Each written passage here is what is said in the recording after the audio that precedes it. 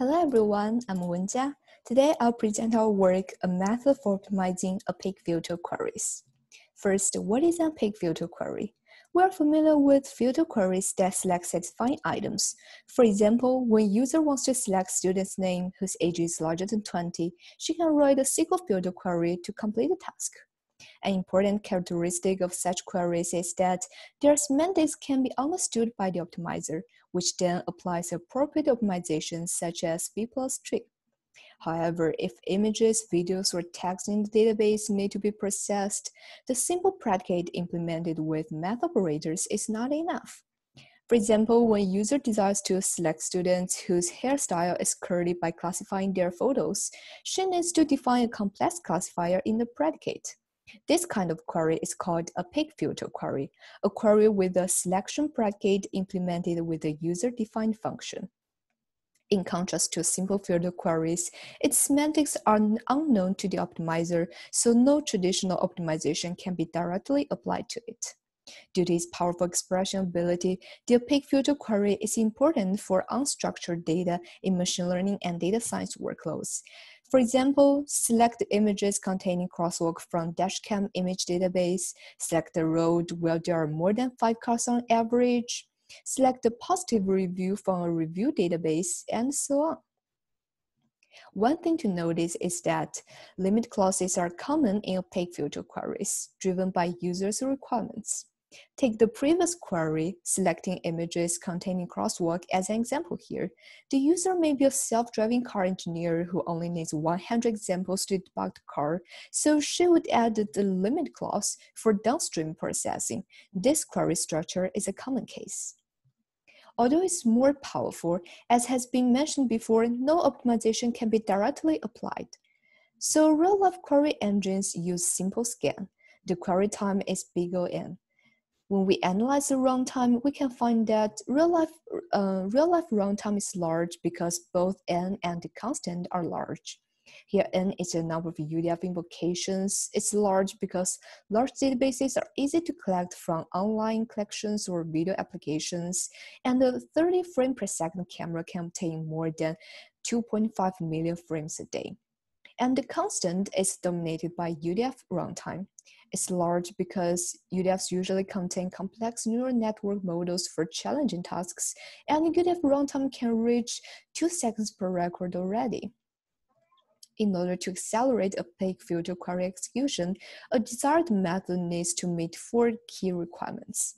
First, it should work with constantly evolving predicates. So the UDF cannot be just applied once and record the answer. And second, it should work with any language and semantics of UDFs. But previous works, Froid and Manimal, are only designed for transact SQL queries, um, transact SQL UDFs, and MapReduce programs. Third, it should work on many data types. But the difference detector component in NoScope is only useful for videos. Fourth, it should avoid the use of online neural network model training like in BlazeIt, because it's expensive and error prone. Based on these requirements, we propose our method, Voodoo indexing. It's a general and efficient mechanism for optimizing opaque filter queries. In this optimization, the specific goal of Voodoo indexing is to only process items where the UDF is likely to be true and um, so, so as to avoid wasting time on executing UDF on irrelevant items. To achieve this goal, we've made an important hypothesis that similar data items will yield similar UDF results. Then the optimization is achieved in two steps. At index time, um, group together similar items. At query time, find groups where the UDF returns true very frequently and focus on those groups. Let me use a concrete example to explain the idea. Assume there is a traffic database containing eight images. The goal is to find images that contain crosswalk. At index time, these images are clustered into four groups according to their similarity. Then during query time, we hope Voodoo indexing focuses on the first and the second group, especially the first group, because UDF returns true very frequently in these groups. In this way, images in the third and fourth groups can be ignored. Motivated by this idea, we designed a two-phase architecture. In indexing stage, raw data is clustered into some index structure. In query processing time, um, query processing stage, an item from cluster is sent to the UDF, and the UDF result is sent back to instruct the next selection until meeting the stopping criteria. Let's go into the details of these two phases. In phase one, similar items are grouped together, and clustering is used to achieve this goal. We use UDF independent feature um, for clustering, for example, pixel values of images. The general features are associated with a wide range of filter properties, so the data can be indexed prior to queries. And we use off-the-shelf cluster methods such as k-means. In phase two, the goal is to find groups where the UDF returns true very frequently and focus on those groups. However, the problem is how to balance explorations, um, selecting the cluster to identify the best, and exploitation, selecting the cluster currently known to be the best. So it's a kind of multi-armed bandit problem. The popular algorithm to solve it is upper confidence bound algorithm. When it's applied in this situation, every group's UCB is calculated and select the cluster with the highest UCB. Run the UDF on one of the items in this cluster to decide whether it should be added to the result set. Repeat the loop until meeting the stopping criteria. In the UCB formula, mu A is the average reward of group A, and is the number of selections, um, and NA is how many times group A has been selected. This formula contains the exploitation term and exploration term, and the parameter alpha is used to balance them. This basic method can work, but it ignores a key fact. It assumes the clusters have nothing to do with each other. However, there may be a similarity relationship between clusters. Let's review the previous illustrative example. We can find that group 2 is closer to group 1 than others.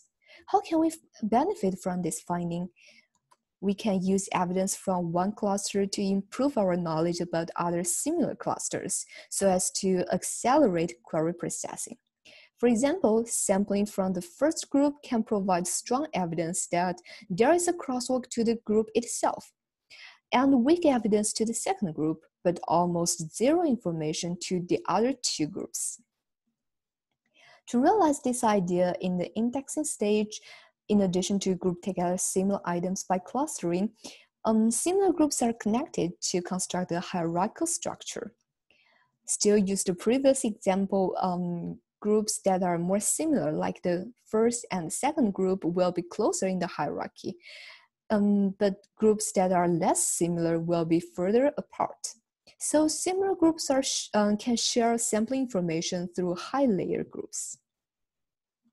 In order to utilize the hierarchical structure, we are facing a hierarchical multi-armed bandit problem. So we design a new algorithm. The main difference between the previous UCB algorithm and this lies in the first two lines in the loop. Calculate the UCB of every inner group and leaf group and select the cluster by a top-down approach. The top-down approach starts from the root, compares the UCB of its children, and select, uh, select the highest one and repeat it until reaching the bottom. In addition, we've also designed three build extensions to further improve the performance. First, dynamic index recovery. Reconstruct the hierarchical structure if the original one is not good. Second, scan failover. If there is not a good policy, switch to scan.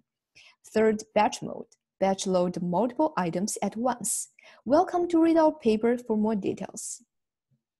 About Voodoo indexing, there are three core experimental claims. Voodoo indexing performance is better than state-of-art methods. All Voodoo extensions yield benefits, and Voodoo indexing is effective across many scenarios. All of them have been demonstrated by experiments. We test on three real-world text and image databases, MNIST, ImageNet, and Yelp by varying the UDF model and classification target, there are 103 UDFs in total. Here, the information of datasets, UDFs, and index are shown in the table. To demonstrate claim one, we compare Voodoo with Scan and ZombieG, a generalized version of Zombie system which was originally designed for feature engineering. The figure showed average recovery time improvement against the limit fraction for three datasets. These numbers show that our system yields a substantial improvement up to 88% over competing methods for all datasets and limit values. As you expect, the improvement is smaller when the limit value is closer to 100%, as this is um, no opportunity to skip items. Then experiments show that um, three Voodoo extensions Dynamic index recovery, scan failover, and batch mode can save query runtime. In addition, Voodoo is effective for reasonable UDF runtime and selectivities. Although the clustering is not perfect, the observed performance of MNIST and Yelp is close to what the best clustering might enable.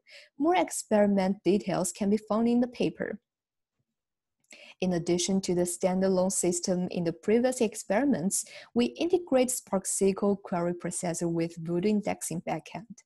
According to the experiments on MNIST, our system selects fewer items and executes opaque filter queries faster compared to standard Spark SQL when the limit fraction is from 10 to 90%. And it can achieve up to 86% improvement. In summary, we have designed a general and efficient two-phase method for opaque filter query optimization. We model query processing as a hierarchical multi-armed bandit problem. And we implement the standalone Python system and Spark SQL integrated system. Both of them yield significant speed up. Thank you very much for your attention.